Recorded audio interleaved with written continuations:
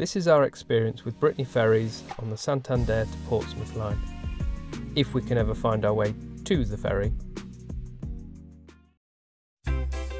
Hi, this is me, I'm Ben, And I'm Emily. Hello. and together we travel around in our converted Iveco van. Called Ivan. Hi, Ivan.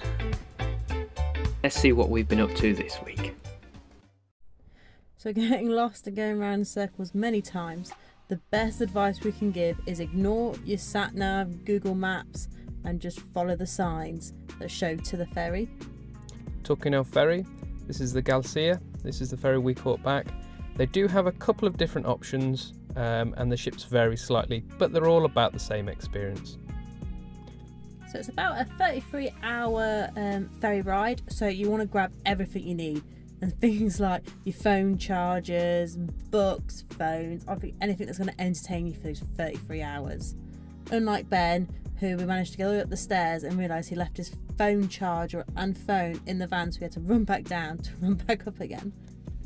Yeah, once at sea, you aren't allowed back down to the vehicles, so make sure you do have everything.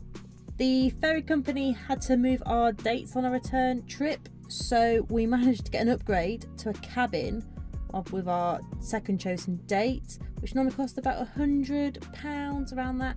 Um, if you're not doing the cabin, then you have to do a reserved seat again, which is about ten to twenty euro, uh, pounds each.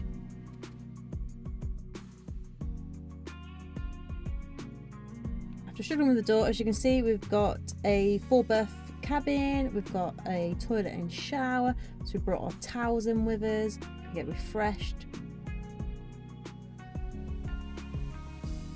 This is the upper bar area. There's plenty of seats, plenty of window views, plenty of TVs, and plenty of lighting. At the bar, you can get like some alcoholic drinks and snacks. You're looking about maybe city prices, so not ridiculous what you think they might be, but they're all right. Plenty of areas to keep little ones entertained, and plenty of areas to keep Emily entertained. It's a puzzle, Ben. I know it's a lot of fun, Ben. Show me the money.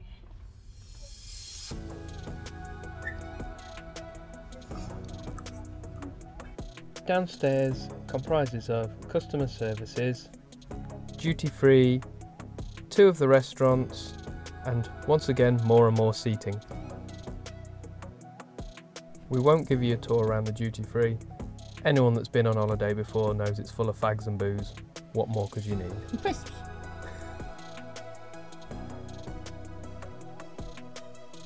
So after three months of sun, or thereabouts, we're just off the French North French coast. We're going outside to see what the weather's like. It's not terrible, is it? It's uh, oh, well, it's raining. Not cold yet, though. Yeah, it's mild. Raining. Oh yeah, can't you tell you're back in uh, British weather? Foggy and grim.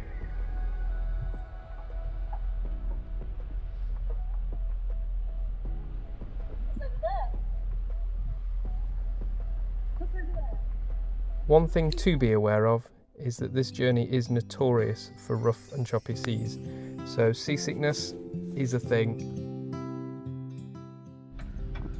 Up with your fitness on the boat.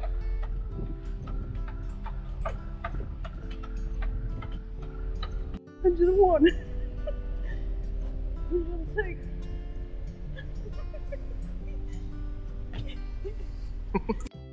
So this is a quick scan of the tapas restaurant. We didn't eat here because with our tickets we got a free free course meal with ours, uh, which is in this restaurant, the main one.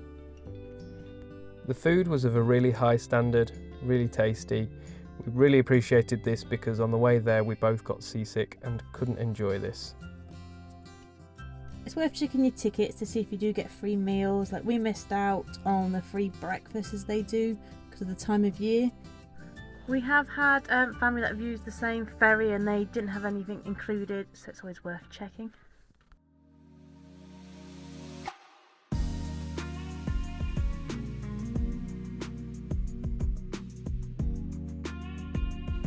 33 hours later. And we have docked. Well, near enough. We're on our way down to the Ivan again to get ready to depart. I don't know what it is with this boat, but I've struggled with all the doors.